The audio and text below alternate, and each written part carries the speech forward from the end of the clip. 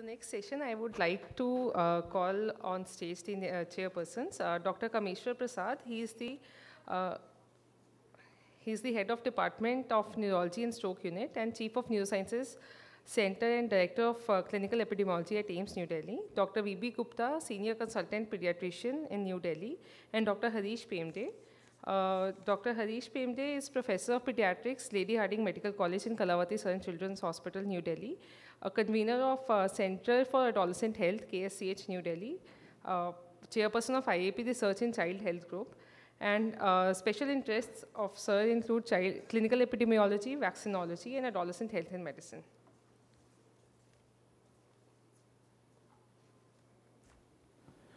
Uh, good evening. I think all are waiting for Professor Lim. Please come.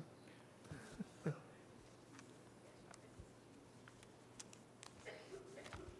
you. And my apologies. This reminds me of my medical school interview many years ago where I was so nervous. This was in, um, I think it was in Imperial. I was so nervous, I stood up before the end of the interview and left, and they called me back, and no doubt I didn't get an offer.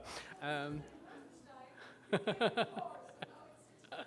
yeah, so it's the opposite that I'm doing now. Okay, so I'm going to talk a little bit about uh, optimizing management in autoimmune encephalitis, acknowledging that a lot that we use is actually based on NMDAR information, but we have to be very careful that no, not all autoimmune encephalitides are the same as such. Uh, is that moving? Not quite yet. So um, these are the principles, I think, of treating autoimmune encephalitis. Um, I think the first question we always need to ask ourselves is, do we need to treat?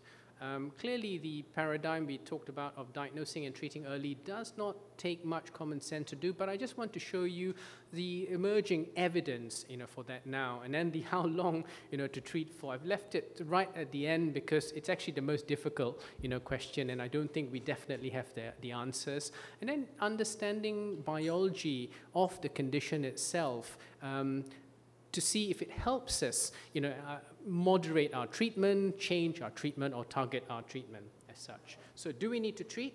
Uh, I think we know now from the big work done by various groups now, particularly in this cohort in NMDAR, that treatment essentially prevents death and improves outcome. So I think there's no doubt that you're not going to treat. But I think you've got to balance that with conditions that also improve spontaneously, not necessarily NMDAR, but if you have you know, your typical child that you mentioned with the seizures, uh, with a viral prodrome, most of them, if you don't do anything, uh, may improve you know, spontaneously. Sometimes we find that the antibody is positive three months later when they come back to you in clinic. You may not chase those, but you would treat that in conjunction with the clinical you know, picture. So I think the other question we often ask ourselves now, very much in the ID sort of world as well, is the clinical relevance of the antibodies. And I'm glad someone brought up the, the, the, the, VGKC you story, because as you know, uh, VGKC antibodies have been reported not the, the LGI1, not the associated uh, targets themselves, but the measured by uh, complex have been uh, identified in lots of conditions, from demyelinating conditions down to frequent seizures, uh, rapid seizures, and they've been attributable to those syndromes. But when, um, and this is um, Yael um, Hacohen, who was doing a PhD with uh, Professor Vincent, looked at all the positive cases that we had in the UK. You can see there from the, uh, the slide there that they, they, they were present in a whole range of conditions, and in titers that were perhaps higher in encephalopathic patients, but not you know, specifically in one group or, or, or, more of the patients. And when we looked at the antigens specifically on cell-based assays, we could not identify the specific targets. But instead, if you looked at some of those, some of the targets were intracellular, suggesting that although the VGKC was a marker of the inflammatory process that we perhaps were doing the antibodies for, they were not necessarily targeting surface uh, antigens. So that's probably right in that we don't see them very much in children. And we certainly screen a lot of children now uh, for LGI1, Caspr2, and Contactin. In my books, I've only got two LGI1s, uh, uh, um, and they happen, but they're ultra, ultra, you know, rare. So clinical relevance is important, and I'm just going to show you this picture, you know, of this boy. Um, So he's a boy with you know chronic fatigue, um, with you know, we're calling this abdominal myoclonus and abdominal tics. It was a suggestible component, but someone had done the NMDAR antibodies and it was positive. You know, is this an MDR-mediated, you know, movement disorder, the mo predominantly monosymptomatic or the monosymptomatic, or is the antibody, you know, clinically relevant? So this is where I'm going to start, you know, the, the, the, the, the talk.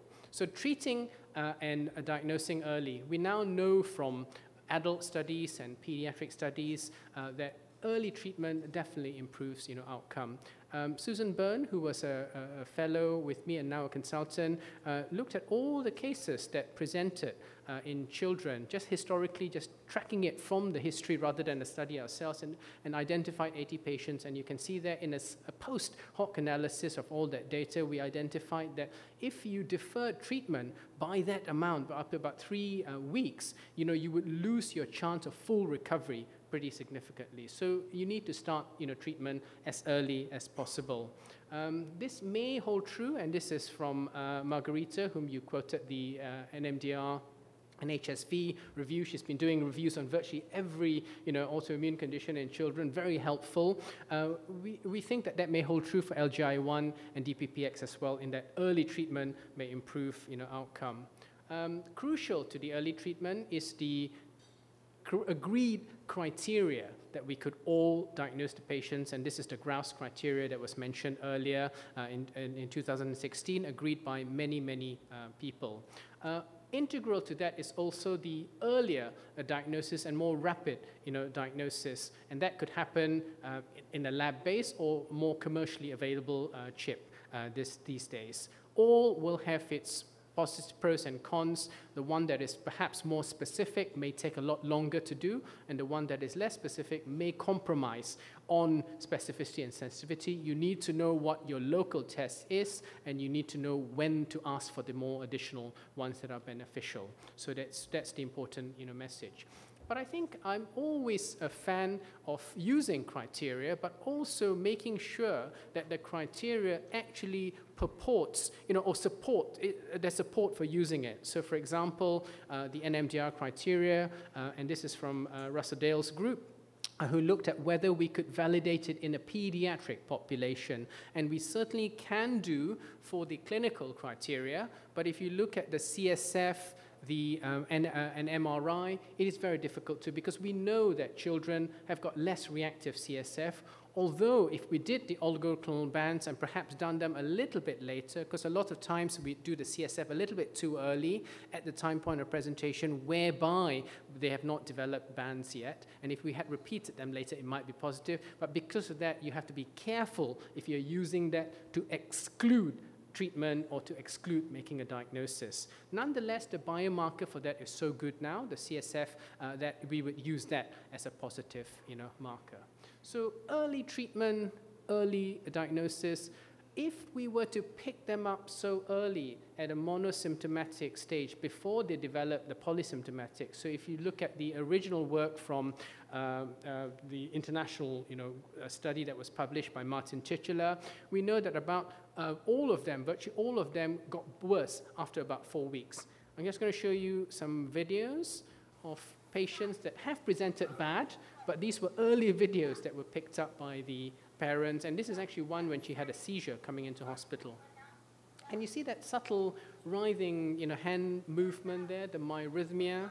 Um, and if I were to show you the whole video with sound, uh, we were probably asking her something. So she probably did have some word finding difficulties there. So not really that, you know, monosymptomatic as such, but certainly not encephalopathic at a stretch of imagination.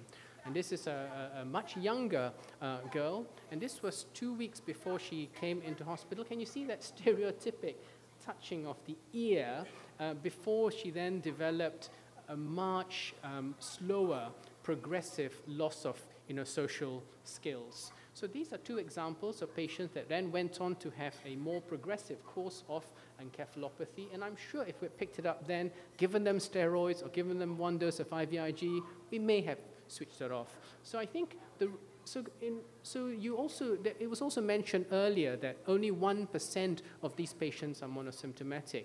And I think the answer to that is that there is a changing face of uh, earlier recognition. And therefore, if you were to do a study now, and we've just done that in our cohort of um, 45 uh, patients, of which 20 were NMDAR, only 30%, sorry, 30% were not encephalopathic. But I, I think it's because we're picking, picking them earlier, not because they don't become encephalopathic. Um, this is another example. This is your, uh, a boy with, uh, with PERM, actually, who was in intensive care um, with um, seizures and rigidity. And this was three weeks earlier. Um, and mum picked up the video. I'm not sure you can see there, but every time he puts the spoon into his mouth, he just clenches his jaw. Um, and he, they, they're a sort of family from Polish sort of background, and mum, sort of a no-nonsense woman, just you know made him have his breakfast and then go to school, and then felt really guilty three weeks later and showed me this video saying, "Do you think that was the onset of the symptom?" I clearly said I didn't think so, but obviously I do think so, so that she doesn't feel entirely you know responsible. But he did very well on steroids and mm-hmm. IVIG and made a very good you know recovery. But had we had picked it up then, might we have presented, prevented him from going into intensive you know care? Um, so that's one about early recognition and how clinically it may be you know, beneficial. So what do we do when we, once we've started the, the sort of diagnosis, depending on how quickly you get your antibodies you know, back, um, you would start treatment. And your treatment, as you said, would be a combination of oral steroids, you know, IVIG, or escalating to plasma exchange in that order. Uh, or, you know, if you had a very sick child, you might consider plasma exchange first before, you know, giving the IVIG so that you don't wash all the IVIG away. And that's a standard, you know, clinical common sense, you know, paradigm that we use. Um, in general, if you look at NMDAR encephalitis, no one treatment is beneficial over the other, almost certainly because you use all three of them and it's difficult to dissect up who's had one, you know, or the other. But um, in LGI1, so we don't see this very much in children. Uh, Sarosh Irani's work um, uh, in Oxford have demonstrated that if you do catch them in the pre-encephalopathic stage, avoid, avoiding them being encephalopathic, you may prevent longer-term you know, cognitive deficits. I think you should, or we should apply that sort of you know, paradigm to our you know, children as well um, when we treat them. So this is one of the questions we're asking in the UK at the moment because remember we talked about etiologies of encephalitis and immune and infection, particularly HSV, are the two commonest. In parallel to this is that and there's an adult study going on at the moment asking if um, steroids, in addition to acyclovir, is beneficial for HSV you know, patients. This is uh, the, the DEX, DEX study. Um, so we wanted to ask if early treatment with IVIG would be beneficial uh, for patients when they present with encephalopathy irrelevant of what the cause is. So if it's steroids, sorry, if it's um, in, in suspected immune, they would have had steroids, it would be an add-on. If it's suspected infective, they might be on acyclovir and the IVIG would be add-on. This is within five days. My, my, was it, was it difficult getting you know, the patients? The study was halted. The primary funders have pulled the funding because we could not recruit enough, but we've managed to get secure you know, secondary funding now to continue the study at a much watered down level, meaning less other than primary outcome measure. But we think this is an important you know, study to look at whether early treatment is going to be beneficial.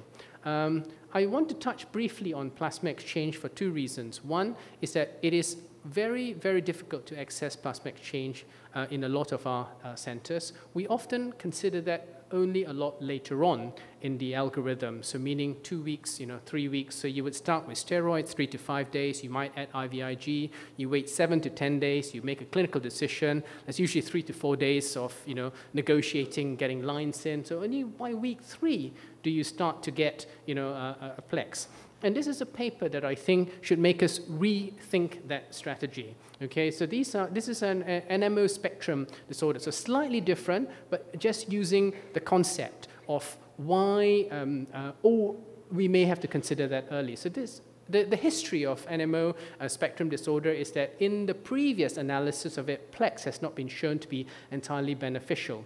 But this group challenged that by saying, well, it's because PLEX, you, you, we only ever did them after three weeks, so it was probably too late anyway. So if you look at that data there, it is really interesting that the benefit from Plex is beneficial from about you know five days onwards, and then by the time you get to three weeks, all the benefit you're going to get from it is gone. So if you if so if you're likely to benefit from Plex, it's going to be early.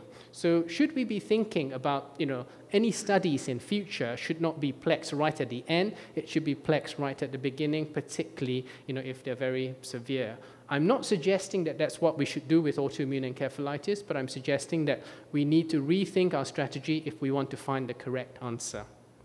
Okay, so that's you know plasma exchange. I think the least controversial, at least in my books, is that if you don't respond to that, you need second line you know, therapy, and we should be very fast in moving on with second line therapy. And I'm delighted to hear that your, your girl, you know, when it failed Ritux, went on to cyclophosphamide and actually responded you know, to, to, to that. And this is the evidence for that. And this is what I call, you know, the, the, the Mona Lisa of the sad autoimmune uh, interest person like myself, in that you look at that picture and it tells you different things, but it also tells you different things at different time. But I'm going to summarize that because uh, I don't think we have time to go through every single aspect of that. But essentially, that's all the patients that presented in that cohort of more about, about 500 patients. Uh, panel B is all the patients that presented and responded to first-line therapy. Panel C are patients that did not respond to first-line therapy and did not get second-line therapy. And D, of course, got second-line therapy. And you can see the additional benefit in the MRS. I'm assuming everybody knows what the MRS is and that it's a categorical scale of 0 to 6, of which one end is death and the other is normal recovery. Actually 6 and the other way around. So additional benefit of second line therapy. Um, in pediatrics, we've looked at it with Russell uh, Dale, and we've also shown the same you know, benefit, and that stratifies to about four weeks uh, for, for, for rituximab. Um, in NMDAR and encephalitis. So if we gave it after uh, four weeks, the patients did poorer. Just be cautious that this is an investigator based outcome measure, not an objective outcome measure beyond the MRS. Um, so, principles of treating, undeniably, I think, for me, diagnose and treat you know, early. But then as we do that, we keep challenging the boundaries, isn't it? You keep saying, how long, how many people should we be treating on Ritux? Should we be treating early, you know, on Ritux? And these are the questions that I think we are only starting to answer now, but I think we need to answer it very systematically um, in the sort of correct way um, so that we get the best data you know, possible. So you know that relapse is one of the reasons why we treat uh, lots of these conditions. And this is the NMDAR study again from Martin Titulaer, essentially showing uh, three things. If you look at panel B, you look at patients that have had no treatment, you know, there's a relapse rate of about 20 to 30 percent. In patients with first-line therapy but no second-line therapy, there's a relapse of about, you know, 12, maybe 15 percent, depending on which time point you look at it. And then in the patients who were treated with second-line, there was a relapse rate of about 8 to 10 percent. So what that graph tells me is that there are patients that you relapse because you don't treat them adequately. But there's also a second group of patients that have got an inherent biology to have chronic inflammation that they would probably relapse anyway, irrelevant of how much you put them on initially. Okay, so this is where the question of your main question of maintenance, you know, therapy comes in. How long, you know, is that for? Imagine that's a two-year, you know, window already. Do you want to be exposing your patients to two years of, you know, immuno, you know, suppression? Um, so I'm going to um, look at the evidence of whether more second-line therapy would be beneficial. And this is a French paper of about 30 you know, patients. And you, the thing to note there, and I'm not sure you can see it, but I'm hoping um, where is it? Um, yeah. 72% of those patients had rituximab in their cohort, and commonly in most other cohorts it's about 30, you know, to 40%. If you look at the outcome there, I cannot convince myself that the difference in outcome in terms of good outcome as defined by MRS of 0 to 2 usually. Uh, but you can see that there's a slight drop in relapse rate in their cohort there. So that's an early signal that you know, it may help you know, relapse rate. Uh, but I think it mirrors the adult data, uh, and this is rituximab in acute limbic encephalitis. This is not just NMDAR. This is antibody positive and antibody negative as well. And I think you can see there that the message is that if you are symptomatic, as measured by MRS, there's an added benefit of Ritux. If you're not symptomatic, or you've improved already, giving the Ritux doesn't change your outcome. They didn't look at sort of relapses. So I think for me, it's a consistent message. You're treating different things. Outcome, as measured by MRS, you're probably not going to alter. You might change the risk of relapse in, in, in patients. So these are now well standardized outcome measures pooled from different uh, studies. And uh, again, Margherita has done all the hard work for, for, for, for us. Uh, and then there's an adult you know, equivalent of that study. I mean, I've just merged the two. And you can use that as standard of what the good outcome is when trying to power for studies to look at you know, an improvement from that. And you can see that if you use an MRS of 0 to 2, it's very, very difficult to get the numbers for the study. You're going to be looking at at least 4 to 500 patients in each, in each group. Um, we also know the seizure outcome, and some of you were asking about you know, the antibody negative and antibody positive. In children, the if you were positive, you're most likely to be an MDR, then the, GABAs and a, a, few of the glycines, and then the rest are antibody negative. If you use the strict criteria of having and another feature like CSF positivity or MRI positivity, we think it's about you know 40% of that group. Then there's another you know big group that as you said, MRI negative, everything negative, and you really don't know what to call it. At best, it's sort of a post-infectious, you know, encephalitis. So um, it's the striking thing about the differences between the two is that NMDAR encephalitis has a much lower chance of developing you know, epilepsy. And DRE stands for drug resistant epilepsy. In the um, Australian cohort, none of them had DREs. In our cohort, about three of them had. But that's because some of our patients are the post-HSV patients uh, in that. And that's quite a long time now. That's, about, that's a two-year uh, cohort um, study. I wanted to finish this section by telling you why I think MRS is probably not the best outcome measure for these um, children. And this is a, a, a, nice picture drawn by a 15-year-old who was recovering from uh, NMDAR encephalitis. And the first picture is when she was just out of intensive care, um, actually said to be doing quite well and was asked to draw on a dog or a cat, I can't remember, and she couldn't do it. And she, was, and she had to get instructions saying that it was a head and four legs, and that's what she drew. And near the, um, sorry, the second one down is when she was discharged to um, home. And then the third one is, I think, for 12 months or 15 months. You'll have to look up that article now. So 15 months later, despite having gone home with an MRS, would have been at least a one or two, is still so disabled. You know, this is a 15-year-old. So I think we're missing a trick if we're using MRS as the only outcome measure. But nonetheless, we don't have any others that we can use. Uh, obviously, imaging is a new uh, modality that we can use. So this is a study from the, uh, uh the, the, German uh, group uh, looking at connectivity and also functional anisotropy and finding that in symptomatic patients with cognitive decline, or cognitive impairment, despite negative imaging, demonstrate abnormalities. So a suggestion that these could be markers that we can use as well uh, in future. Um, so the end of the paradigm is the maintenance you know, treatment you know, that we talked about. Um, we empirically put them on it. Um, it appears to be related to previous experiences, i.e., how many patients relapse once you put them on six months uh, of steroids and then you put them on a little bit more and then you put them on a little bit more. But most of us now would, you know, at least for NMDAR encephalitis, recommend that they're on some form of immuno uh, maintenance treatment for up to a year if you happen to give Ritux already and you know that they're going to be B cell depleted for that period of time up to then, so you don't need to be any, you don't need to have anything more after that. But these are the milder ones that you get better. You know, that's the, that's the difficult one. And certainly for us, we would do that, and we would use pulse uh, uh, uh steroids rather than uh, regular steroids because we think that it improves the side effect, you know, profile, and certainly for bone growth, you know, etc. what's the evidence that maintenance therapy uh, makes a difference? Ours is a small cohort of only 46. We hope to double that up with another uh, cohort, uh, or even uh, uh, perhaps uh, an Indian cohort here.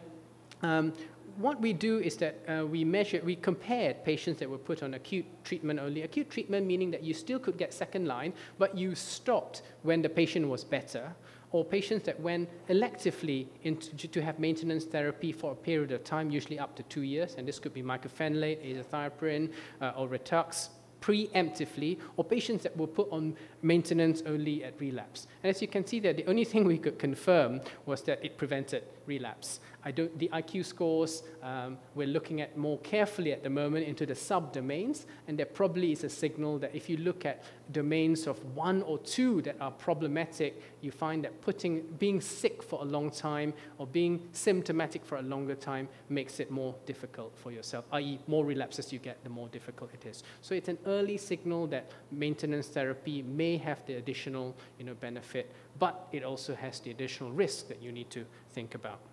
Okay, so the final uh, principle, I'm delighted I've got um, six minutes on the clock there, is understanding uh, biology uh, blood-brain barrier. It's the most important thing that we sometimes often, overlook. And I was delighted to hear the discussions a little bit earlier on about your treatments for uh, you know, some of the CNS infection that you know about CNS penetration for a lot of these treatments. We know a little bit less about that. We know that Ritux gets in. We know that cyclophosphamide gets in. Uh, you know, we know that you know, MMF may moderate different things outside the brain. But if you were to take a strategy of trying to target you know, uh, where the inflammatory response is, then if you were to look at NMDAR encephalitis that has got a very reactive CSF, should we not be you know, targeting uh, uh, intrathecally? And that's what a French group did. And I've certainly heard of very good responses to intrathecal methotrexate. So this is not difficult. This is pretty cheap. And provided you do it in conjunction with uh, oncology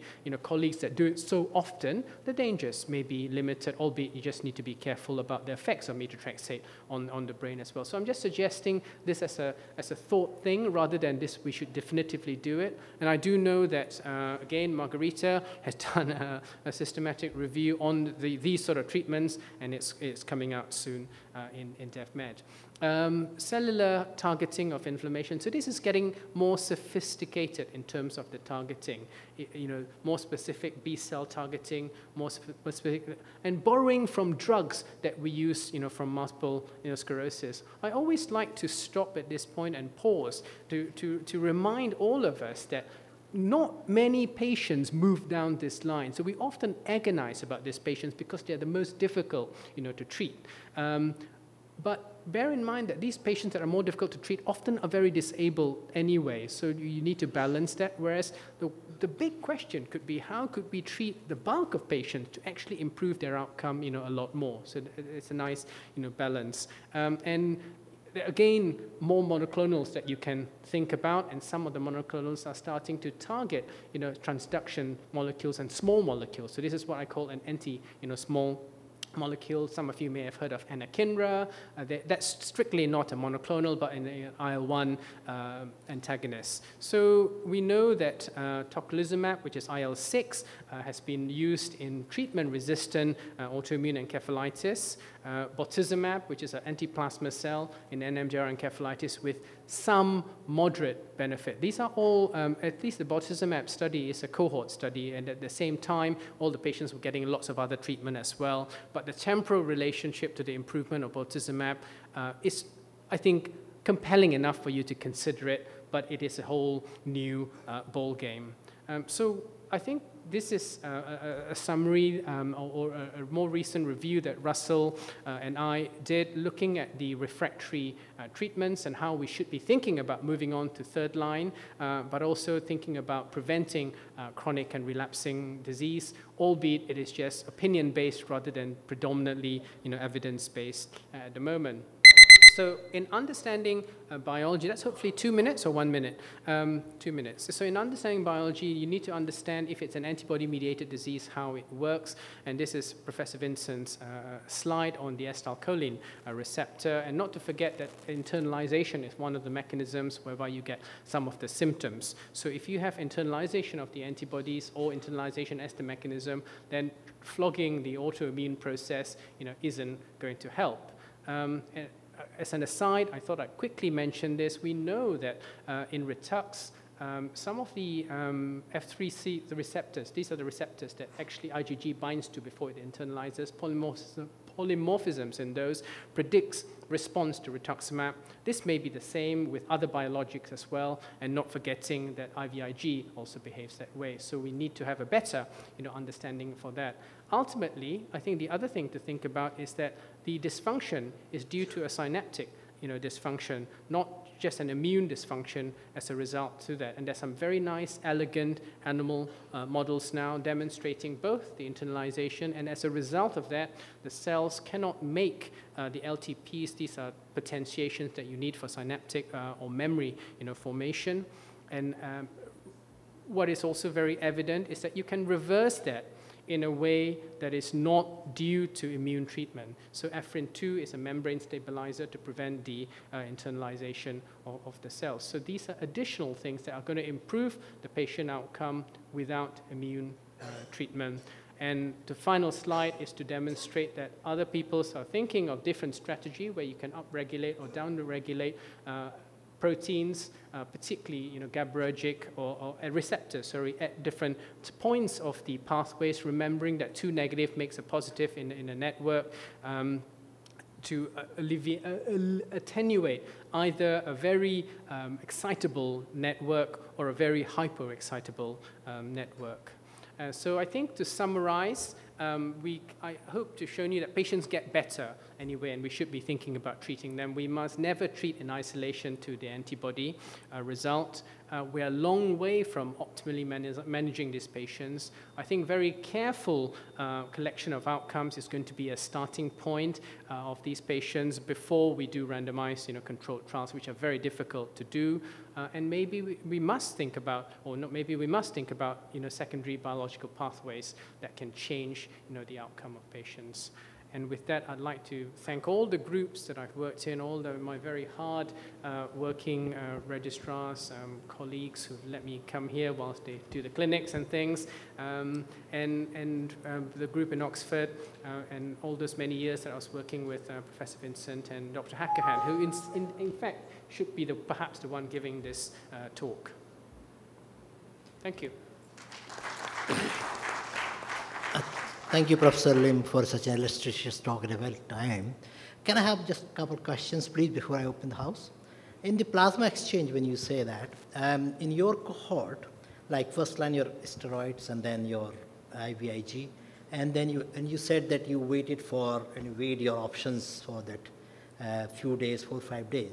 So in that cohort, uh, when you look at these cases who did not respond to the first line treatment, how much response did you get in plasma exchange depending on the duration and how many cycles? Do you have any data on that? No, we don't have a data in that. In fact, when we looked at it more systematically in a UK you know, wide cohort, you, you find a typical what we call paradox of that in that you were treating the patients with plasma exchange because they were more severe patients. So sure. if you were to analyze it, you would say actually plasma exchange made the patients worse if you get what I mean. So um, the duration to recovery, you cannot distinguish them from, at least in my view, you cannot distinguish them from natural recovery if it was going to happen you know, anyway, because we actually don't know what the normal trajectory is for improvement in that patient. Right. Anything in the short term, like in steroids and IVIG, you see the response very quickly within days. Yeah.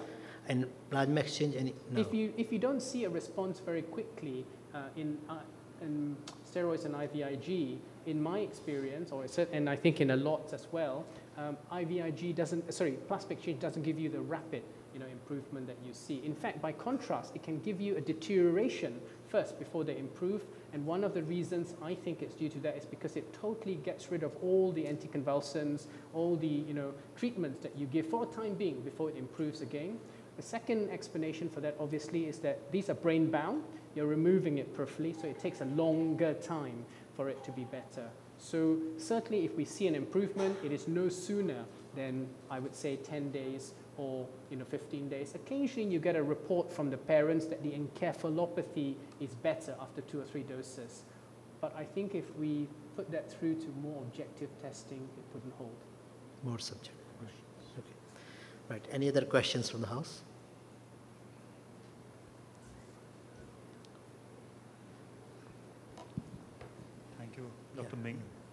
My question is uh, regarding use of biomarkers uh, for you know guiding therapy and you know individualizing therapy. So, Yeah. Yeah. what kind of biomarkers would you suggest Yeah. for monitoring no, very CSF good. information? Very good question. Um, and certainly for you know CSF uh, inflammation, the, the biggest uh, you know work done in children is from the Australian uh, group. Uh, Kavitha, who was uh, Russell's PhD student, has worked extensively on this. Um, I think the, we're still at a very early phase of what you know where we're at in terms of identifying the types. But as you know, the two big ones that are out there are the interleukins and CS, CXCL13. And it's interesting that. Um, uh, Professor Newton mentioned CXCL13 in Lyme's borrelio borreliosis as well, because that's actually a marker of B cell you know, activity, not that specific to that. So maybe we could start using that. What I've been using is actually the intrathecal bands. Uh, and this is simple to do, and we can do it in most centers. And for, so, going back to your question about maintenance therapy, um, we would uh, consider in children that we think is adequate to do that to treat uh, the, um, with maintenance therapy until we get no bands. And that could be a year, that could be 18 months, quite a while. So, bands for me, are the only clinically available uh, validated tests in addition to some emerging biomarkers, of which one of the interleukins and CXL13, a chemokine for B cell, being one of them. CSF B cells and CSF CD4 to CD8 ratio, do you also use those? We, we don't, but I've not seen convincing evidence that that is um, a, a, a good marker, number one. And uh, I don't know if you, um, the only available literature on that, as you know, is the Opsoclonus myoclonus data from Pranzatelli's group. So he's got very good reference ranges for them. But um, the only other person that I've seen got good reference range for that is uh, Martin Hauser in, in, in, in uh, Germany. And if you ask labs uh, that, um, they find that difficult to replicate. So if I were to go to my lab now and say what are the markers, they, could, they would do it, but we wouldn't have our own reference. We would just be able to reference uh, you know, theirs. Um, maybe serially we could, we could do that. Um, we could borrow perhaps um, from the um, MS data. So there are some groups now, um, particularly Amit Bar-Or in, in, in, in sort of Canada, looking at peripheral, though not, this is not CSF, biomarkers of chronic inflammation. Um, you may have heard of the CD4 CD8 ratio that is changed in MS patients. So, do we stop when we've reversed that you know, phen- immuno or more immune phenotype? I think those are very interesting questions that will emerge, but we, we're not there yet, and I certainly you know, don't use those. So would you use oligoclonal bands for monitoring disease activity in anti-MOG and anti-NMO, antibody positive? Only, only, only in antibody positive and only in you know, NMDAR, and sometimes in the antibody negative uh, patients where I just don't know what to do because we have no a priori knowledge and they were band positive. I would immune, I would treat them on maintenance therapy until they became band negative. But I'm sure there will be a patient that is band negative and then when they relapse become band positive again. But that's life. Thank you. Okay, thank you, uh, Professor Lim. And now we would like to call upon the next speaker. Uh, Dr. Angela Vincent. Uh, Dr. Angela Vincent is a emeritus professor of neuroimmunology. Where is she?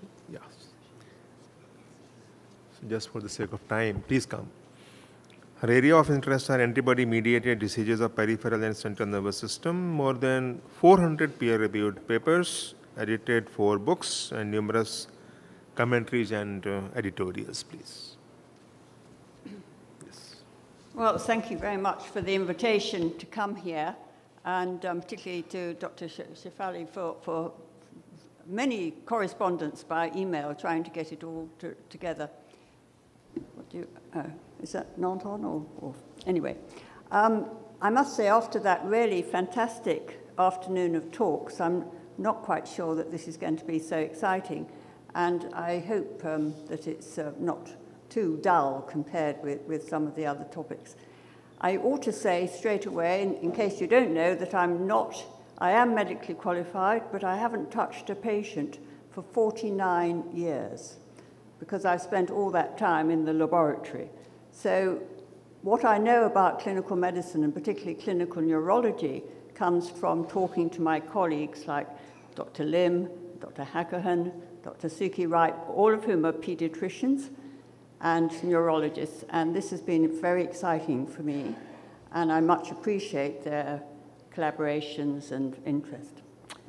So I'm going to talk about the relapsing demyelinating syndromes, and the antibody-mediated ones, of course, are very important now because multiple sclerosis needs to be distinguished from neuromyelitis optic spectrum disorders.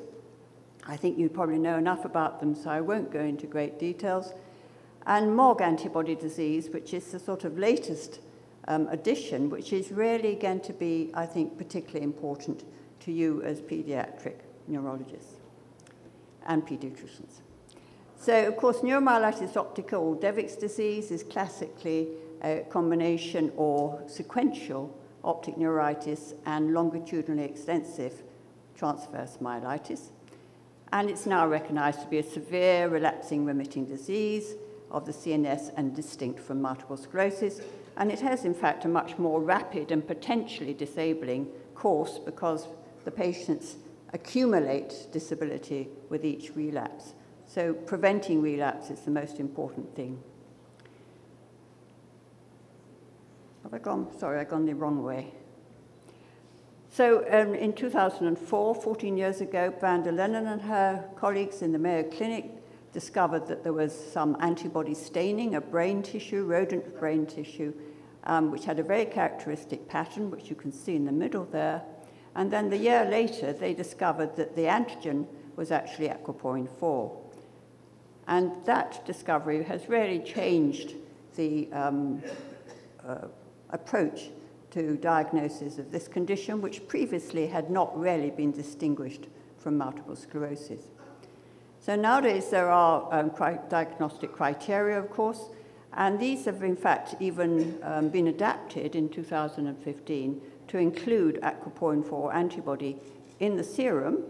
Note, they were never testing it in, in the CSF, so that's not some, an antibody we tend to test in the CSF.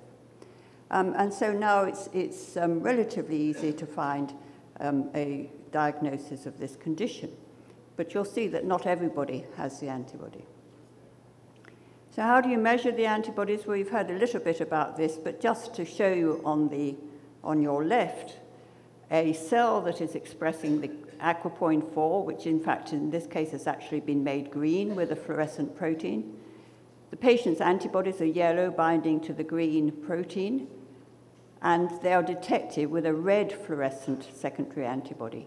So when you look down the microscope, as you can see at the bottom left, you see the green cells surrounded by a halo of red fluorescence.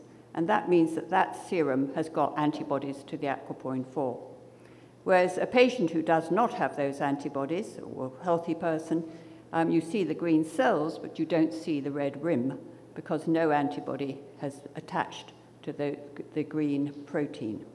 And this scoring can be, um, score, um, the binding can be scored, and, and we do that regularly on patients of many kinds. And we use live cells for this because we want the antibodies only to bind to the outside of the protein. We don't want to detect antibodies that are directed against intracellular epitopes because we don't think that those antibodies are likely to be pathogenic.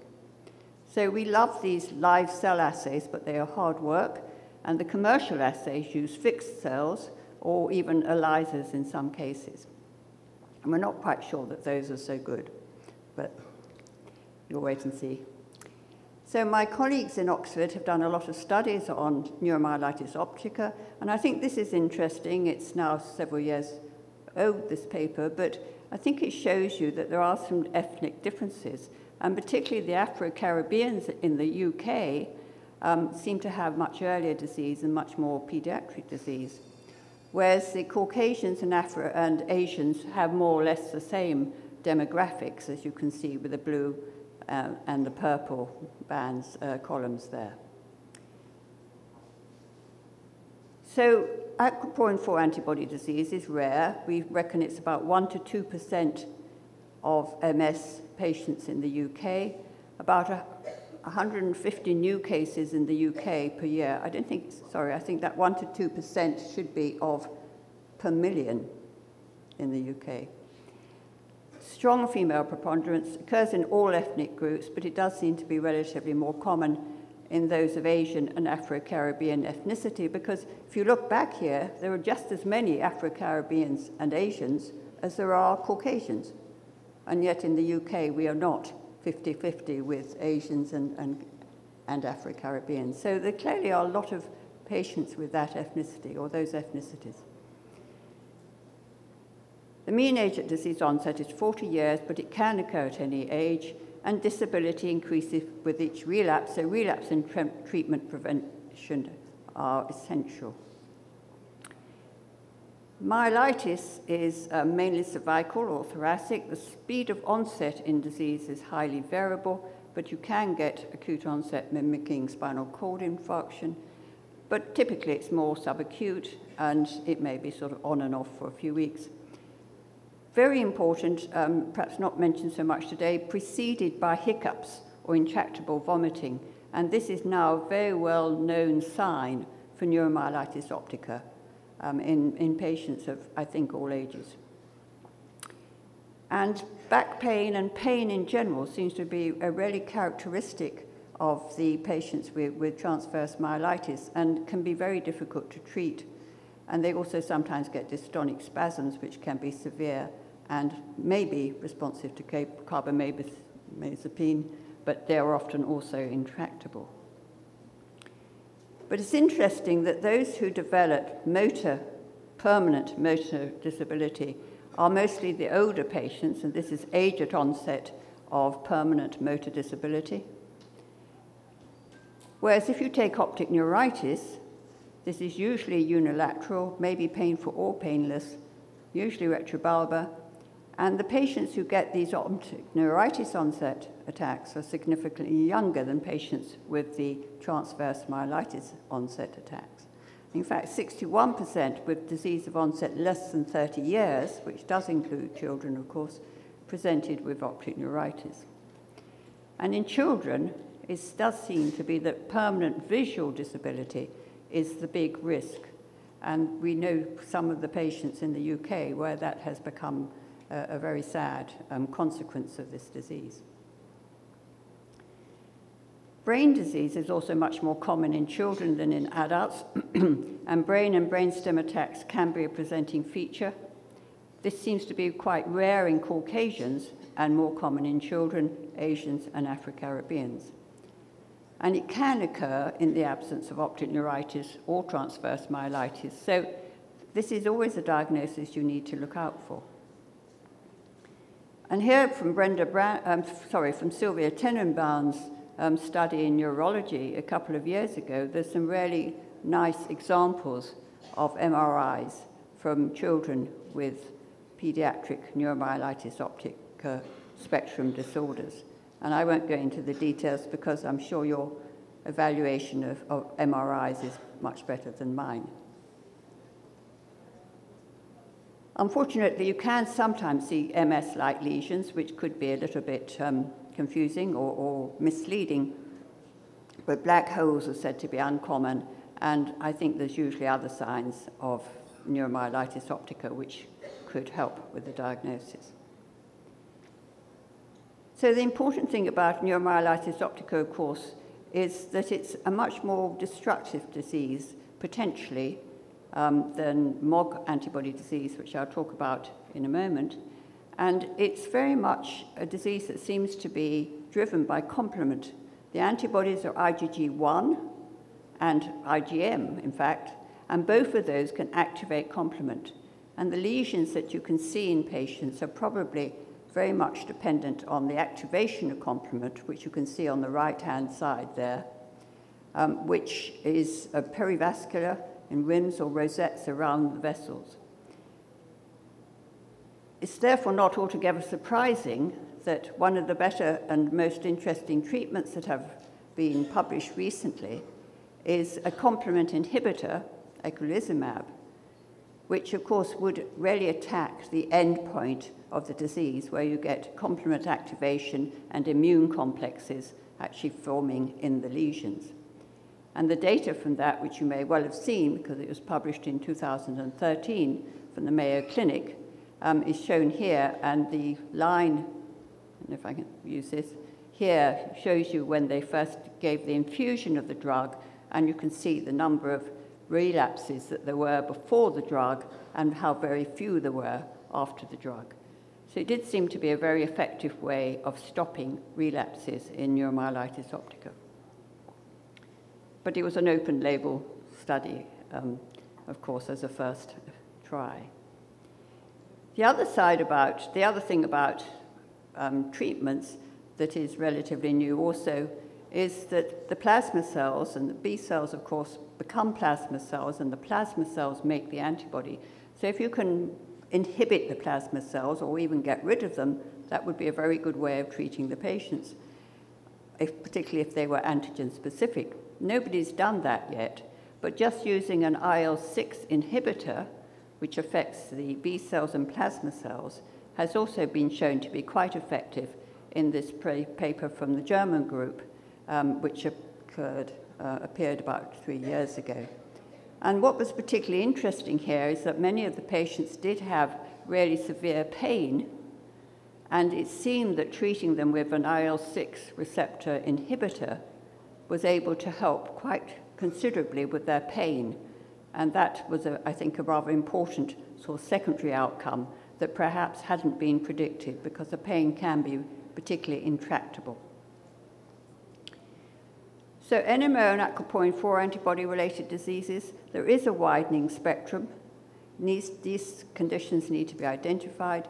There's a poor adverse or adverse response to typical disease-modifying treatments, or at least many of them, um, the, the MS treatments in typical patients. So one really wants to beware missing the diagnosis of neuromyelitis optica and giving them the wrong treatment. It does require aggressive and sustained immunotherapies to prevent accumulation of disability, and complement activation and neurotreatments targeting B cells are probably going to be um, important in the future.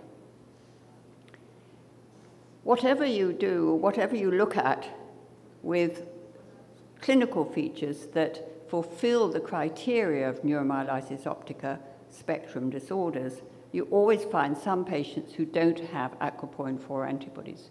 And this is just trying to show you how isolated or recurrent optic neuritis, recurrent longitudinal extensive transverse myelitis, brain or brainstem attacks, classical, even classical neuromyelitis optica, there are only a proportion of patients that have aquaporin 4 antibodies.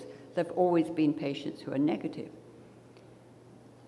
And in fact, aquaporin 4 positivity is relatively low in children, perhaps as many as 42% of neuromyelitis cases in pediatric studies are negative for the aquaporin 4 antibodies.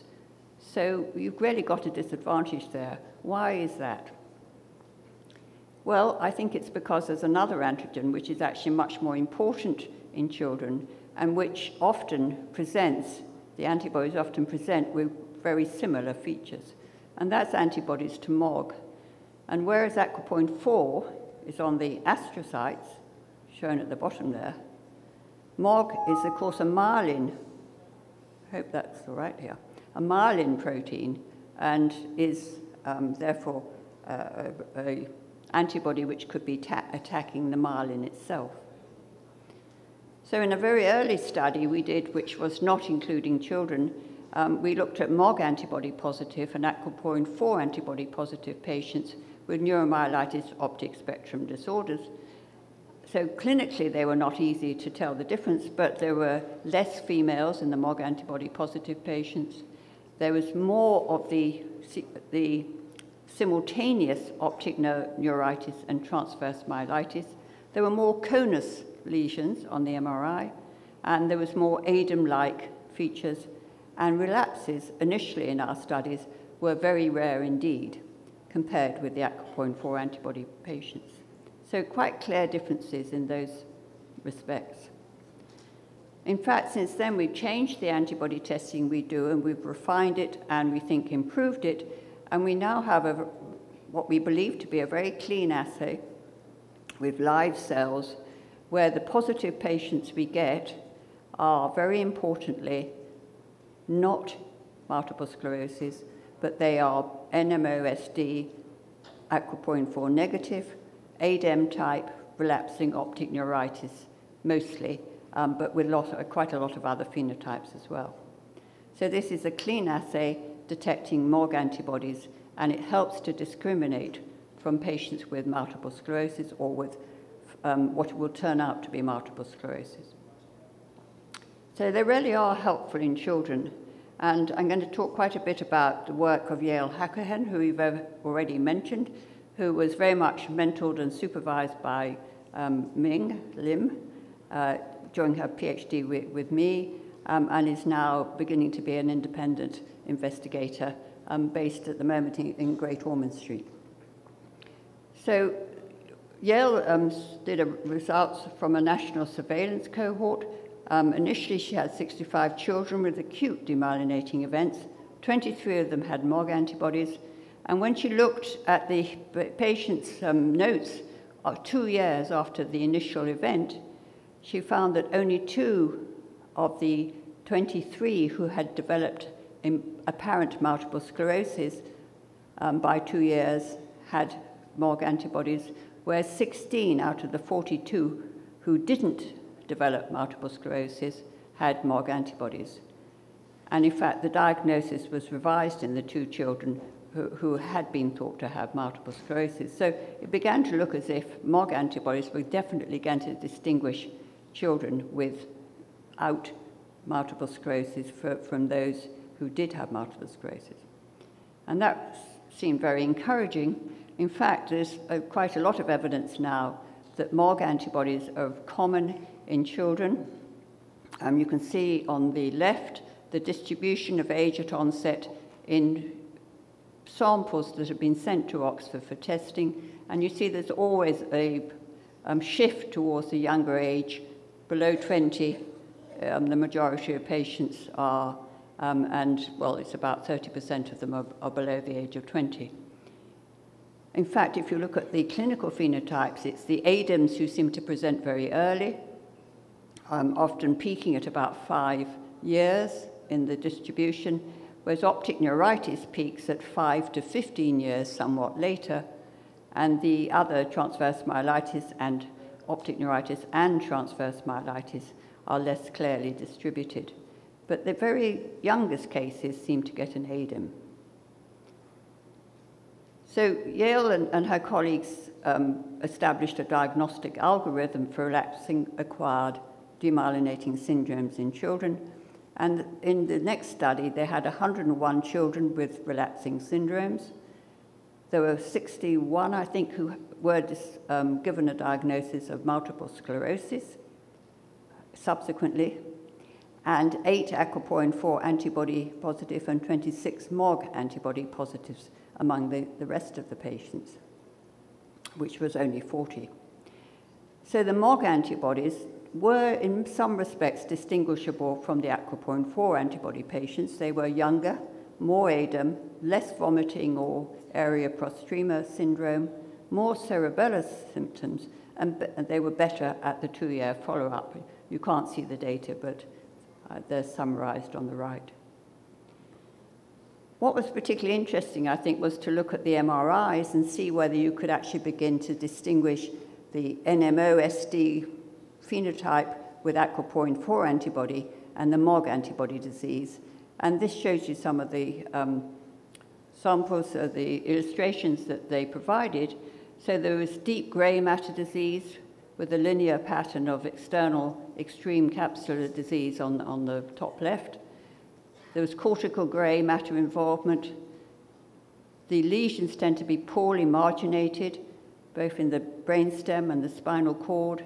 And cerebellar peduncles um, uh, had these confluent, poorly marginated lesions, which reversed with treatment. And in fact, in some cases, there were really Lucas dystrophy-like lesions in the MOG antibody patients. So these are not lesions that you would expect to get um, with uh, neuromyelitis optica, or indeed, I think they're certainly not typical of, of multiple sclerosis either. So MOG antibodies have been useful to distinguish non-MS in children with relapsing demyelinating syndromes. And children with MS very rarely have the aquaporin 4 or MOG antibodies. MOG antibodies can be associated with neuromyelitis optic uh, spectrum disorder, MDEM, or a proportion of relapsing optic neuritis. There are a few clinical features different between aquaporin 4 and MOG antibody disease, but none of them are really predictive by themselves. However, if you look at the MRIs as well, you can find that there really are probably differences, and I think that's an area which is beginning to be worked out better. So in the aquaporin 4 antibody disease, the lesions are mainly restricted to the brainstem and or hypothalamus, and they're destructive lesions, whereas in MOG antibody disease, they're fluffy white matter lesions and often involve the cerebellar peduncles. Now, you can't see the graphs on the right properly, but what I thought was very interesting in this multinational study, which um, Yael and, and many colleagues around Europe put together, was that, again, there's something very special about those very young children because it's the young children who get brain lesions and ADEM.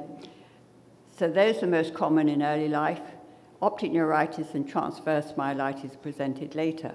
And that really just confirms what I've already told you, but in a very detailed um, and systematic manner.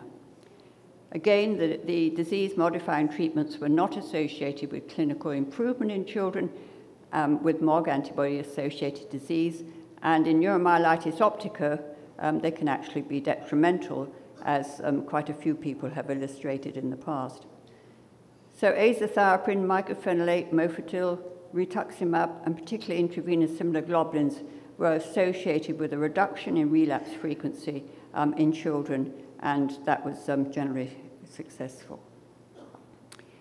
But another aspect which also has been pointed out by, by Yael and her colleagues, and I think is very interesting and, and raises an important question, is children with MOG antibody-associated disease present with differences in the phenotypes, as I've just shown you, and the severe leukoencephalopathy phenotype seems to occur much more in the very young. So on the right, you can see three um, sort of age groups of children getting older as you go right, and this sort of typical or best example MRI is shown underneath. And you see that the leukoencephalopathy at the bottom left is really what happens in children whose average age is about four years at onset. So the question is, and this is one that, that Yael I know is interested in, is the very young myelinating brain particularly susceptible to MOG antibody-mediated mechanisms of damage? And if that's the case, what's special about that young myelination? And why do the antibodies have such an effect at that age, even though it's still potentially reversible? So the importance of antibody-mediated forms of relapsing demyelinating diseases um, in, in summary, is that the NMO aquaporin 4 antibody disease is important to diagnose as the lesions are destructive with long-term disability. The range of MRI findings have widened, and the 2015 criteria reflect the new findings of antibodies and the sort of widening spectrum. New treatments are beginning to be tried, and the disease-modifying treatments should not um, in, as a general rule, be used in the NMO patients. MOG antibodies are useful in the aquaporin 4 antibody negative NMO patients, and they also distinguish from multiple sclerosis. And the phenotypes are wide in children in particular, and recurrent optic neuritis occurs at most ages. And in fact, there are now quite a few case reports of rare encephalopathies with much more of an encephalitis phenotype with MOG antibodies, but perhaps um, those are still very um, uncommon. And the, I think perhaps the most important thing for you as clinicians is that MOG antibodies are more common than aquaporin 4 antibodies, particularly in children under the age of 10, and they really are important to look for in patients with relapsing demyelinating diseases. So, just like to end with um, the list of some of the people who've helped over the years with this work, and they're very much underlined for those whose contributions were absolutely um, important and, and could not have been done without. And to mention that Yael is now at Great Ormond Street um, and working with Cheryl Hemingway, who is also, I'm sure, a name that you know very well, and Ming also at the Evelina with Michael Absoud. And the Institute of Neurology, Olga Ciccarelli and Frederik Barkhof, are two great MRI experts in MS, and they've got really interested and excited about the pediatric demyelinating diseases associated with these antibodies. And I think that's a very good thing. Thank you for your attention. Uh, thank you very much, Professor Vincent. Um, any questions, burning question? Professor Vincent has elucidated that what is coming next to all of us in future. Uh, any specific questions? And all tired. Oh, this one. Yes. Yeah, Brajesh. Uh, this is the, thank you for a great talk. Uh, this is a little unfair question, but you think we're going to find more antibodies? Because they're still in the same group. You don't always explain the. Mm. Well, un unfortunately, that always seems to be the case, that there are always patients who are seronegative. Look at myasthenia gravis. We had acetylcholine receptor antibodies, but 15% were negative. Then we had MuSK antibodies, but there's still about 5 to 10% who are negative. Then there's LRP4, but there's still, and I think that the spectrum widens as people find more antibodies and take more interest in the disease, and you're always chasing those seronegatives, but you never find, you never get there. I'm not, I know that people are trying hard to find new antibodies, but certainly using the appropriate techniques, it's not not, doesn't seem to be very easy. And we've certainly tried, of course, uh, in this condition, these conditions, um, as well as in myasthenia and many others. So unfortunately, I don't know. Probably there will be, but not in my lifetime, perhaps. Just one more question regarding MOG antibodies uh, how do we monitor the progress of MOG antibody disease and how long the antibody positivity status in the serum would be there? Sorry, I didn't quite catch that. I mean, how, how long after once after the inception, once we start treatment, how long the MOG antibodies will, per, uh, will persist in the serum? That's an interesting question. With the assays that we've been, excuse me, we've been using, and um, also most people's experience, is that the antibodies don't stay very long in the serum, but in those patients whose antibodies persist, they are more likely to have a relapse. Some of them just disappear very easily, and one hopes that means they won't relapse. But, you know, some of them still relapse. The antibody levels to MOG are not, at least in our assays, they are not very high titer. And that means that they can disappear relatively easily below the threshold.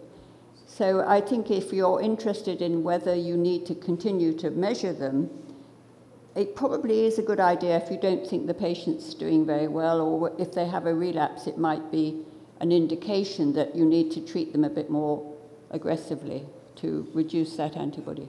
But I'm sure Ming would have a much more informed opinion. No? Would it be advisable, like previously, uh, all these demyelinating disorders with, uh, after uh, starting the treatment, we do often follow up MRI after uh, six to eight weeks. So, I mean, two, two, two or three months into the illness. Uh, would it be advisable simultaneously to do MOG antibodies again at the same time and then decide about discontinuing the steroid treatment? Uh, would it be advisable to do that? I think this should be the last question.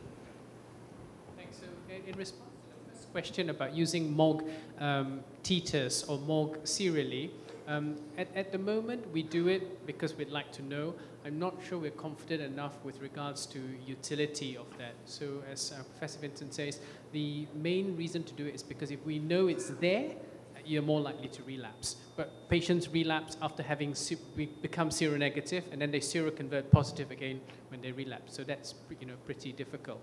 Uh, monophasic, uh, well, we know that you know if you take 100 you know, patients with MOG, only 30% of them will relapse. Maybe there are some extra risk of relapse with certain phenotypes. So I wouldn't automatically, uh, at least in a very well recovering patient, immediately report, uh, sorry, repeat the MOG, uh, nor you know repeat imaging unless clinically indicated. So what I'm saying is that knowing the MOG positivity in this case should not change the way you manage them beyond clinically. So if they're very well, um, I would leave them until they relapse.